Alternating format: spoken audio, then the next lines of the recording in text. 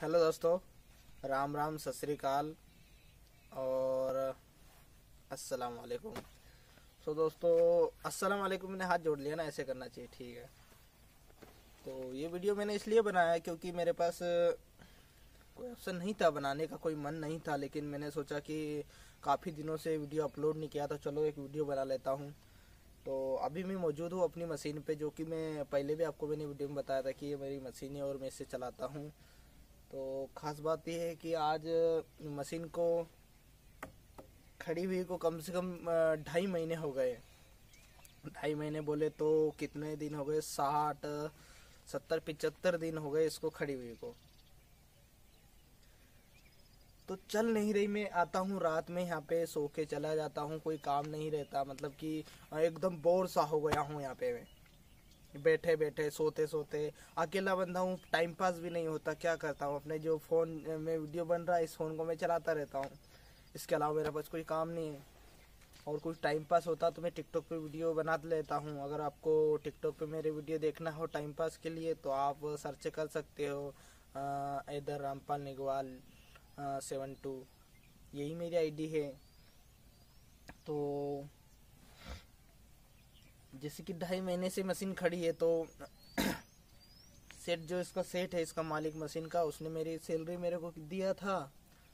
तो सैलरी देते समय उसने मेरे को, जब मेरी सैलरी अठारह हज़ार सैलरी थी, जब मशीन चलती थी, लेकिन जब उसने सैलरी दिया तो मेरे को पंद्रह हज़ार रुपये दिया।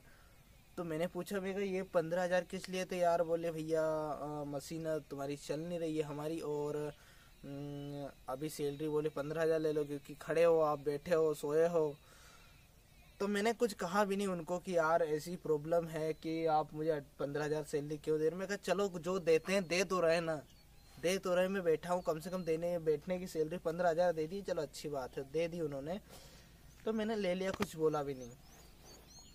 तो मेरे को ना इस पे सोने के लिए आना पड़ता है, डेली मैं सोने के लिए आता हूँ मशीन पे। रात में तो मैं यहाँ पे ना चोर ज़्यादा है, जिस गाँव में मैं रहता हूँ गाँव के पास हूँ गाँव जो खंडवा ज़िले में है। तो खंडवा से कुछ बीस किलोमीटर आगे है देश गाँव तो जैसे कि मैं रात को रोज़ सोने के लिए आता हूँ तो मैं जिस गाँव में रहता हूँ, वहाँ के ही चोर बहुत ही ख़तरनाक है।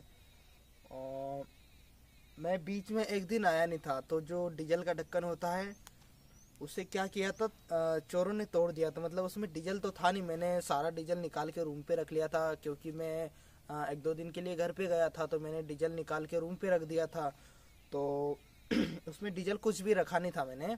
डीजल, इसकी बैटरी ज़्यादातर चोर यही चुराते हैं बैटरी और डीजल। तो मैंने बैटरी भी पहुँचा दी थी इसकी दूसरी जगह पे और डीजल भी निकलवा लिया था। जिसके बाद चोर आए, उन्होंने ढक्कन वक्कन उसका तोड़ दिया डीजल का और फिर डीजल निकालने की कोशिश की होगी तो उसमें तो डीजल था नहीं, लेकिन ढक्कन तोड़ दिया था। फिर मैंने एक दो दिन बाद में जब सुबह मशीन से उठा मैंने ऐसे लात धीरे से लात दिया तो, तो ढक्कन गिर गया। मैं कहा यार ये क्या प्रॉब्लम हो गई? तो मैंने देखा कि ढक्कन गिरा हुआ है ढक्कन टूट गया है। अरे बाप मुझे समझ में आया कि यार चोर बड़े खतरनाक है। उनको सब कुछ पता रहता कि मैं रूम से कब निकलता हूँ कब जा रहा हूँ क्या कर रहा हूँ। ये सब पता रहता चोरों को। पता नहीं किस तरह के लोग हैं यहाँ पे। यार इस तरह से चोरी क्यों करते हैं? और उनको पता है क्या आदत सी हो गई एक चोरी की?